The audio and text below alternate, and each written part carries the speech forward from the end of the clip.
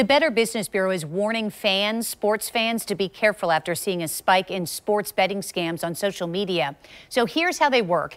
A scammer posts on social media or sends you an email about an experienced handicapper with a record of picking consistent wins. This handicapper says that they have insider information to place sure thing bets on upcoming games. For a fee, you can get in on it too. Don't fall for it. So first, the Better Business Bureau says you want to avoid sports handicappers altogether. Their goal is not to get you money, it's to make money themselves. Never believe promises that are too good to be true. We warn you about that all the time. And also beware of gambling related pop-up ads, email spam, or text messages.